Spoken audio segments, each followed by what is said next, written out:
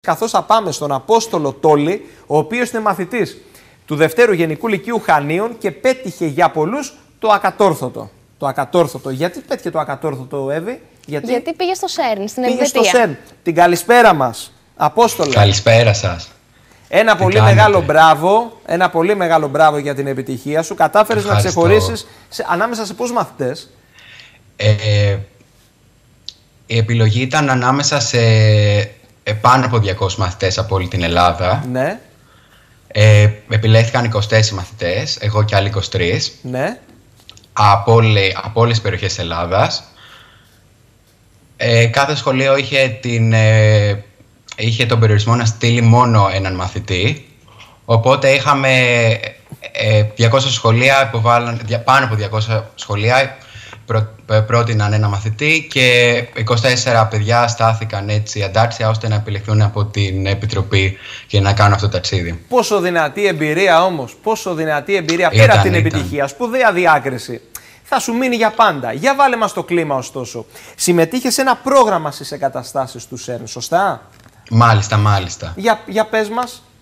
Λοιπόν, το πρόγραμμα αφορά καθαρά μαθητές λυκείου. Ναι, Ε, ουσιαστικά πήγαμε εκεί πέρα ώστε να εκπαιδευτούμε ενδελεχέστερα στον τομέα της φυσικής και των θετικών επιστημών πέρα από διάφορες διαλέξεις που κάναμε και εννοείται επισκέψεις στις εγκαταστάσεις ναι. Είχαμε και χωριστεί σε ομάδες των δύο ατόμων κυρίως ε, και είχαμε αναλάβει ένα συγκεκριμένο project που έπρεπε να βγάλουμε εις πέρας στις δύο αυτές εβδομάδες που είχαμε. Ναι. Κάθε ομάδα είχε έναν υπεύθυνο και πάνω κάτω έτσι κύλησε το πρόγραμμά μας. Από τις 8 μέχρι τις 5 είχαμε αυτό το πρόγραμμα και μετά τις 5 ήμασταν ελεύθεροι και τις περισσότερες φορές πηγαίναμε ακόμα και στην ε, πόλη της Γενέβης Μάλιστα. αυτά εφόσον και ο είναι. καιρός μας βοήθησε. Τι σου έκανε εντύπωση σε εγκαταστάσεις, ποιο project ξεχώρισες, είδες κάτι και είπες «Όχ, εδώ είμαστε».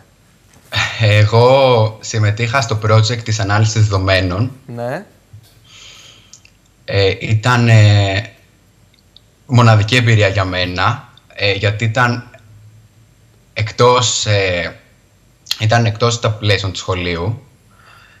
Είχαμε έναν καταπληκτικό υπεύθυνο, ο οποίος ε, πέρα από ομάδα μας είδε ως παιδιά του, ως αδέρφια του, γιατί ήταν μικρός σε ηλικία.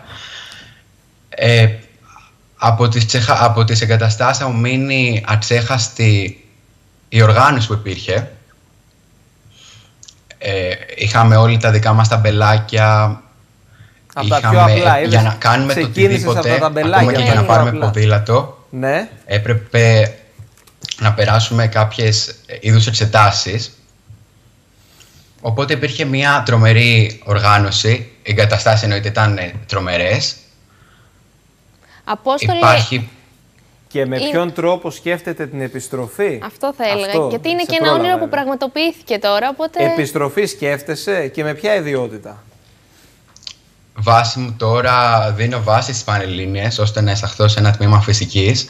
Ναι. Με απότερο σκοπό ώστε να ξαναγυρίσω στο ΣΕΡΝ σαν φοιτητής ή ακόμα σαν εργαζόμενος. Μάλιστα, ακόμα. είδες που βγάλαμε τώρα Σου είδηση. ευχόμαστε τα καλύτερα, λοιπόν. Τα καλύτερα. Αφού θα τα Ευχαριστώ. ξαναπούμε μετά από 5-6-7 χρόνια και μακάρι η ιδιότητά σου να είναι συγκεκριμένη.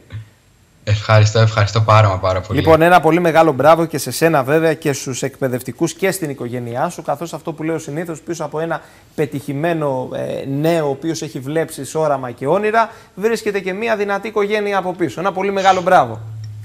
Ευχαριστούμε, ευχαριστούμε πάρα πολύ. Σε ευχαριστούμε πολύ, Απόστολε, να είσαι καλά.